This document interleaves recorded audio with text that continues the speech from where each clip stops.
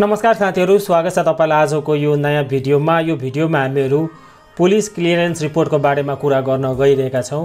केही दिन अगाडि मैले एउटा भिडियो बनाएको थिएँ जसमा जसमा मैले तपाईँलाई जस पुलिस क्लियरेन्स रिपोर्टको लागि अनलाइनबाट तपाईँले कसरी आवेदन दिन सक्नुहुन्छ जस त्यहाँनिर आवेदन दिने तरिका सिकाएको थिएँ सो यो पार्ट टू भिडियो रहेको छ। अब आवेदन दिइसकेपछि हामीलाई के कुरा गर्नुपर्छ र तपाईँले कसरी चाहिँ पुलिस क्लियरेन्स रिपोर्टको जुन सर्टिफिकेट चाहिँ तपाईँले पाउन सक्नुहुन्छ र त्यसलाई कहाँबाट र कसरी डाउनलोड गर्न सक्नुहुन्छ यो भिडियोमा मैले चाहिँ यो जानकारी तपाईँलाई दिन गइरहेको छु। भिडियो तपाईँलाई धेरै नै काम लाग्छ।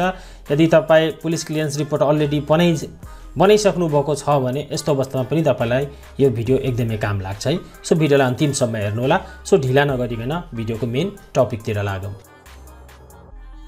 सो यहाँनिर छु म आफ्नो ल्यापटपमा र आफ्नो कम्प्युटरबाट म यो गरिरहेको छु र तपाईँले यसलाई आफ्नो मोबाइलबाट पनि गर्न सक्नुहुन्छ है। गुगलमा फेरि पनि पुलिस क्लियरेन्स सर्टिफिकेट लेखेर सर्च गर्नुभयो भने फर्स्टमै देखाइदि दिन्छ है। OPCR dot Nepal police dot GOV dot NP यो फर्स्टकै अप्सन हुन्छ है। फर्स्टकै अप्सनमा क्लिक गरिदिनुहोस्। यहाँनिर जस तपाईँको लगइन हुन भन्छ। यहाँनिर चाहिँ मेरो अलरेडी लगइन छ। म तपाईँलाई लगआउट गरेर देखाउँछु है। यहाँनिर तपाईँले खोल्नुभयो भने तपाईँहरूको अगाडि एउटा यस्तो टाइपको पेज खुल्छ र यसमा तपाईँले आफ्नो त्यो इमेल आइडी राख्नुहोस् र त्यो पासवर्ड राख्नुहोस् जुन इमेल आइडी र पासवर्ड बनाएर सुरुमा जुन अप्लाई गर्नुभएको थियो है। सो यस्तो सानो सानो कुरा पनि मलाई जस भन्नुपर्छ। धेरैजनालाई कन्फ्युजन हुन्छ है। सो त्यो दुवै कुरा दिनुहोस् त्यसपछि लगइनमा क्लिक गरिदिनुहोस् है। अब यो भिडियो चाहिँ साथीहरू लगभग म बाह्र तेह्र दिनपछि बनाइरहेको छु है। अब यो सर्टिफिकेट कहिले मेरोमा यो आयो? लगभग यदि तपाईँलाई तुरुन्त चाहिएको छ भने मैले पुरानो भिडियोमा पनि तपाईँलाई भनेको थिएँ कि तपाईँलाई जस फोन गर्नुपर्छ। यदि तुरुन्त चाहिएको छ भने नभए तपाईँलेदेखि आठदेखि लिएर होइन दस दिनभित्र तपाईँको सर्टिफिकेट आइदिन्छ। तपाईँले केही पनि गर्नु पर्दैन। सो यहाँनिर म चाहिँ लगइन भइसकेको छु र यहाँनिर तपाईँले हेर्न सक्नुहुन्छ। जसको लागि मैले अप्लाई गरेको थिएँ त्यो मान्छेको नाम र यहाँनिर एप्लिकेन्ट आइडी दिएको छ र यहाँनिर तपाईँहरू हेर्न सक्नुहुन्छ यो चाहिँ कम्प्लिट भइसकेको छ है। त्यसपछि साथीहरू लगभग तपाईँले एक हप्ता जति अथवा छ सात दिन जति वेट गर्नुभयो भने तपाईँकोमा कम्प्लिट भनेर देखाउँछ र तल यहाँनिर तपाईँलाई डाउनलोड सर्टिफिकेट भनेर देखाउँछ है।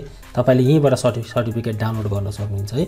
म चाहिँ डाउनलोडमा क्लिक गर्छु र यसलाई तपाईँलाई देखाउँछु डाउनलोड गरेर कस्तो देखिन्छ। र मैले तपाईँकै अगाडि सबै कुरा सब्मिट गरेको थिएँ। तपाईँले सबै कुरा मिलाएर हाल्नुभयो भने तपाईँको सर्टिफिकेटमा कुनै प्रब्लम हुँदैन है। एकदम इजी तरिकाले भेरिफाई भइहाल्छ। अब तुरुन्त चाहिएको छ भने तपाईँलाई जस त्यहाँनिर पुलिस क्लियरेन्स रिपोर्टको यहाँनिर तल नै नम्बरहरू हुन्छ है। यो कस्टमर केयरको नम्बरहरू यसमा फोन गर्नुपर्छ है। सो यहाँनिर म तपाईँलाई अब सर्टिफिकेट देखाउँछु। अब सर्टिफिकेट साथीहरू तपाईँले यहाँनिर हेर्न सक्नुहुन्छ माथि मोबाइल नम्बरहरू छ है। र यहाँनिर तपाईँको डेट दिएको छ कुन डेट भएको तपाईँको तपाईँले यो जुन पुलिस क्लियरेन्स रिपोर्ट तपाईँले जस अप्लाई गर्नुभएको छ। लाइक तपाईँको पुरानो छ होइन? दुई वर्ष पछाडि बनाउनु भएको छ। र तपाईँले त्यसलाई अहिले युज गर्न जानुभयो भने त्यो अहिले युज हुँदैन। है तपाईँलाई हालको पुलिस क्लियरेन्स रिपोर्ट बनाउनुपर्छ जस्तै कि यो महिनाको। अब यही महिना तपाईँले कुनै काम गर्दै हुनुहुन्छ र कुनै मेन पावरले तपाईँसँग पुलिस क्लियरेन्स रिपोर्ट माग्यो भने जस एक दुई महिना पुरानो छ भने प्रब्लम हुँदैन है। तर एक वर्ष छ महिना एक वर्ष जति पुरानो छ भने त्यो चाहिँ काम लाग्दैन है। सो त्यो कसरी फेरि पनि अप्लाई गर्ने म त्यो पनि सिकाउँछु है।